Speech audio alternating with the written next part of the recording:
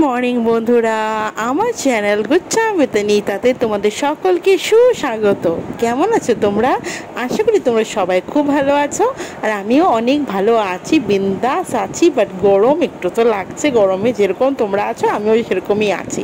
কিন্তু সকাল সকাল সংসারে কাজকর্মগুলো তো শুরু করেই দিতে হবে। এই জন্য সকালে উঠে সবচেয়ে আগে জাগে জাগানোর মিন্স আমাদের বাড়ির গোপালকে, তো ওনাকে জাগিয়েছি। জাগিয়ে ঠাকুরের বাসন টাসনগুলো ধুয়ে ঠাকুর ঘরটাকে মুছে আমি সবচেয়ে কাজ প্রথম এই কাজটাকে সেরে নিলাম। কারণ মাসিকে আমি ঠাকুর ঘরটা মুছতে দিই না, ঠিক আছে? আর এবার চলে আসলাম আমি আমার ঘরটাকে গুছাতে। সকাল সকাল বিছানা টিছানাগুলো সুন্দর করে গুছিয়ে নিলে আমি রিল্যাক্সে আরামসে আমি রান্নাঘরে যেতে পারি। নাহলে ঘর যদি এলোমেলো থাকে বিছানা বাড়িতে যদি এলোমেলো থাকে, আমার রান্না করতে মন বসবে না। এই জন্য সকাল সকাল আমি আমার ঘরটা যতই রাজ্যর কাজ হোক গে সবচেয়ে আগে আমি আমার রুমটাকে টিপটপ করে গুছিয়ে নেব। আর তোমরা তো জানোই, প্রত্যেকদিন আমি ঘর গুছানোর সাথে সাথে প্রত্যেকদিন আমি একটা নতুন হ্যাবিট করে নিয়েছি। প্রত্যেক দিন এই ফার্নিচারগুলোকে মুছি। কারণ যেহেতু আমাদের মেন হাইওয়ের সামনে আমাদের বাড়ি ধুলোর তো আর বলার নেই যে এতই ধুলো উঠে। তোমরা যারা আমাদের মতন হাইওয়ের সামনে বা কোনো মেন রোডের সামনে বাড়ি নিশ্চয়ই জানো। তো যাই হোক জন্য প্রত্যেকদিন এই হেবিটটা করে নিয়েছে যাতে আমারই যখন জিপ ক্লিনিং করতে যাব, আমারই কষ্টটা কম হবে। আর নিজেরই ভালো লাগে পরিষ্কার পরিচ্ছন্ন থাকলে, তাই না বলো? তো হয়ে গেল, আমার ঘর দুয়ার গোছানো, দেখো একদম পুরো টিপটপ করে নিয়েছি, এবার মাসি আসবে, এসে ঘর দুয়ার ঝাড়ু দিয়ে ঘর দুয়ারগুলো মুছে নেবে। আর আমি এখন দড়িয়ে দড়িয়ে দড়িয়ে চলে যাব রান্নাঘরে। না রান্নাঘরে আজকে সকালে এমন কোনো ঝামেলা নেই, কারণ কালকে আনা হয়েছিল হলো চিকেন কালকে তো কোনো ব্লগ তোমাদের সাথে শেয়ার করা হয়নি, কালকে আনা হয়েছিল হলো চিকেন যার জন্য তোমাদের দাদা ভাই মিন্স আমার হাজব্যান্ড এবার একজন আমাকে কমেন্টেও বলেছে যে অনিতা, যে দাদাভাই করে তুমি বলো, তো ও তো তোমার অনেকজনের বড়ও হতে পারে, অনেকজনের ছোটও হতে পারে। সো দাদাভাই করে না বলে, তুমি তোমার হাজব্যান্ড করে বলবে। সো ঠিক আছে, তোমাদের কথাটাও ঠিকই, তোমাদের কথাও আমাকে রাখতে হয়। সো তোমাদের জন্যই বলছি হ্যাঁ আমার হাজব্যান্ড বলেছে সকাল সকাল চিড়ে মুড়ি দই দিয়েই করে নাও। কারণ রাত্রে যখন চিকেন খেয়েছে এখন এই গরমের সময় একটু পেটটাকে শান্তি দিয়েই খাওয়া দাওয়া করাটাই উচিত। তো সকাল সকাল চিড়ে মুড়িরই ঝামেলা মানে ঝামেলা না, চিড়ে মুড়ি করব। আর এক্সট্রা কোনো ঝামেলা নেই, এই জন্য আমি জলদি করে সব সবজি টবজিগুলো কিনে নিচ্ছি মাসি আসার আগে। তাহলে একবার এই জায়গাটা মাসি পরিষ্কার টরিষ্কার করে সুন্দর করে মুচে টুচে নেবে। তো আমি কেটেছি হলো ঝিঙে আলু, কারণ কারণ আজকে আনা হয়েছে হলো রুই মাছ। তো ঝিঙে আলু দিয়ে রুই মাছের ঝোল করব, পাতলা ঝোল করব। আর করব হলো উচ্ছে দিয়ে মুগ ডাল দিয়ে শুক্তো টাইপের মানে ডালও বলতে পারো, শুক্তোও বলতে পারো, উচ্ছে দিয়ে করব, ঠিক আছে? আর করব হলো মিষ্টি কুমড়ো, দেখো ছোটো ছোটো কুচি কুচি করে কেটে নিচ্ছি, এটা দিয়ে এটার সাথে বেগুনও দেবো, দিয়ে কালো জিরে দিয়ে একটু ভাজা ভাজা টাইপের করব। আর করব হলো এখন গরমের যে স্পেশাল খাওয়ার আমের চাটনি, ঠিক আছে? তো এই হলো কথা। আর এখানে গোল গোল করে একটু ভাজা করে নেব। এরকম করে ওর সাথে কুচি করেও দেবো আর একটু গোল গোল করে বেগুন কেটে নেব। তো সব কাটাকুটি করে মাছ কেটে মাছ ধুয়ে নুন, হলুদ মেখে কড়াইটাও বসিয়ে দিয়েছিলাম। তো কড়াই গরম হয়ে গেছে। তো মাছগুলোকে ভেজে নিচ্ছি।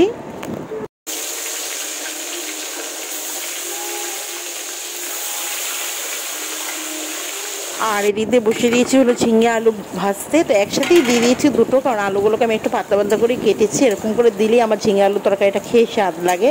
বেশ মোটা মোটা করে কাটতে আমার একদম পছন্দ না। আর এদিকে মাছের মাথাটা, লেজাটা রয়েছে, তো এটাকে একটু ছোটো ছোটো ভেজে নিচ্ছি। টান টান করে রান্নাবান্না শেষ করে চলে আসলাম। প্রচুর জামা কাপড় ধুয়েছি, কিন্তু আমি যাব না ছাদে মেলতে। এখনও রোদ, যদিও বা কালকে থেকে আজকে গরমটা একটুখানি কম আছে। তো তাও আমি যাব না ছাদের মধ্যে। আমি এখানেই আমার কিন্তু গেস্ট রুমটা আমার ভালো মেলার জায়গা, এখানে আমি মেলে দেবো। প্রচুর জামা কাপড় ধুয়েছি আসলে তোমার সাথে যেটা শেয়ার করা হয়নি, আমি চাই না তোমাদের সাথে আমার যে যেগুলো দেখি আমার লাইফে কষ্ট কষ্টর দিনগুলো যেগুলো চাই সেগুলো তোমার সাথে শেয়ার করতে চাই না। এবার এর মধ্যে অনেকজনে তোমরা বলবে, আমি জানি ভালো করে, যে পরিবার মানে সুখ, দুঃখ সব মিলে, তাই না? যে শুধু সুখের জিনিসই, আনন্দের জিনিসই, ভালো জিনিসগুলো তোমাদেরকে দেখাবো, আর যেটা নাকি একটু কষ্টের সময় সেগুলো দেখাবো না, সেটা নিশ্চয়ই আমি জানি এই যে আজকে এই ভিডিওটা দেখাবো, তোমরা কেউ না কেউ আমাকে কমেন্ট করবে।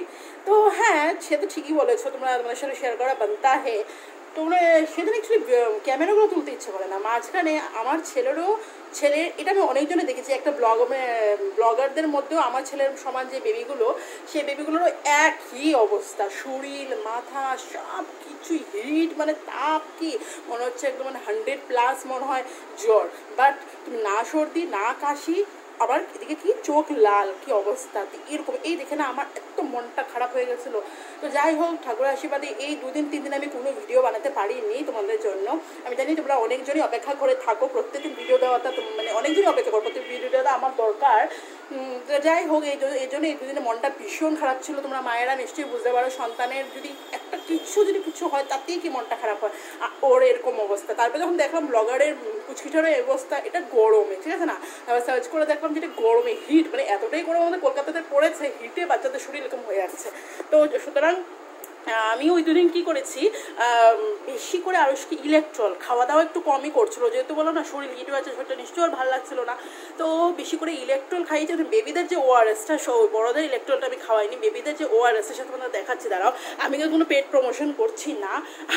জাস্ট তোমাদেরকে, আমি আরুষের, আরুষকে কোন ওআরএসটা খাওয়াই, সেটা তোমাদের দেখাচ্ছি। এই যে এটা, দাঁড়াও। এই ঠিক আছে? এই যে এটা, ঠিক আছে?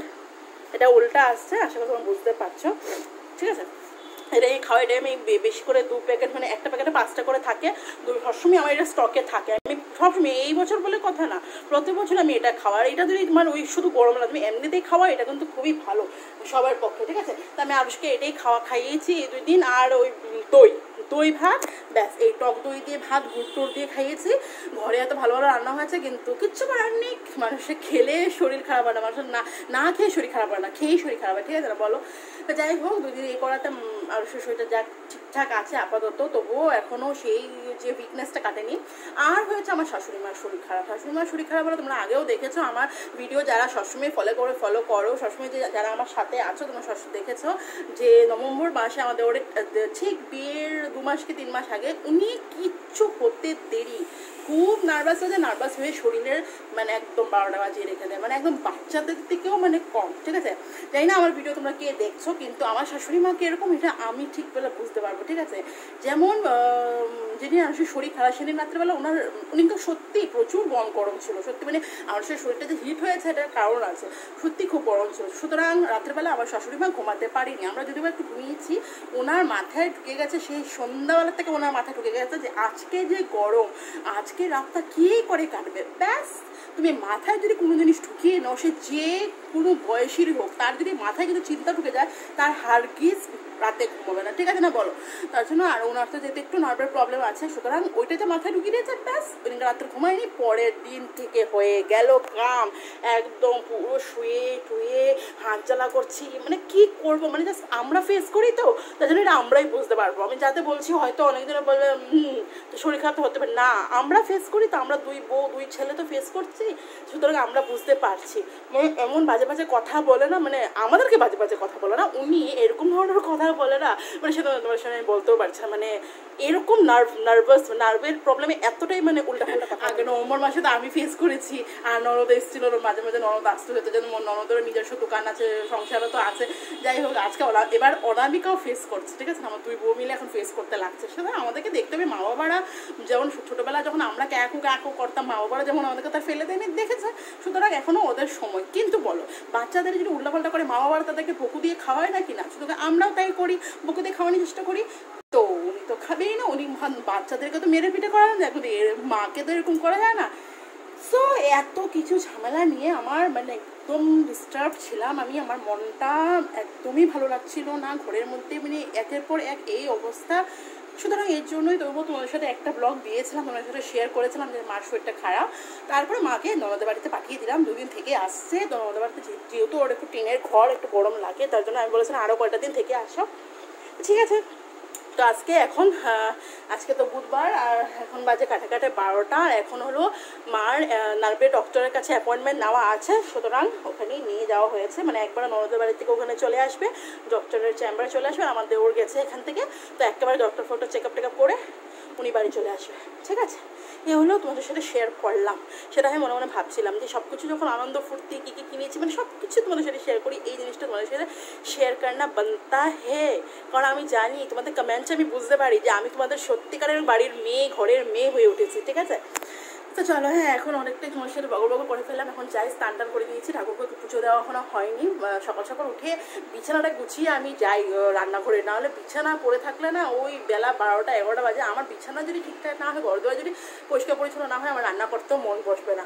তো এই করে চলে গেছি রান্নাঘরে। তো রান্নাবান্না শেষ টেষ করে টরে হয়ে গেছে। অনামিকাও হেল্প করেছে। অনামিকা গ্যাসটা চবিন টবিনগুলো মুছে নিয়েছে। ঠিক আছে? আর কাটাকুটি তো দেখলে আমি কাটাকুটি করেছি। হ্যাঁ মাছের ঝোল অনামিকা করেছে। আমি মশলা মশলা সব কিছু রেডি মেডি করে সবজি টবজি ভাজা ভেজে যে মাছটা ভেজে ভেজে দিয়ে গেছে অনামিকায় সবজিগুলো আমি তরকারিটা করে, মাছের ঝোলটা করে, গ্যাস টেসগুলো ওভেন টোভেনগুলো মুছে দিয়েছে, ঠিক আছে? সো ওদিকে হয়ে গেছে, আরুষকে স্নান করানো হয়ে গেছে, এখন আমি যাই, গিয়ে পুজো দিয়ে আসি, এসে আরুষকে নিয়ে পড়তে বসতে হবে, কারণ কালকে হলো আরুষের ম্যাথ আর জিকে এক্সাম ঠিক আছে? তো চলো, এখন আর বেশি কথা বলে আর সময়টা নষ্ট করছি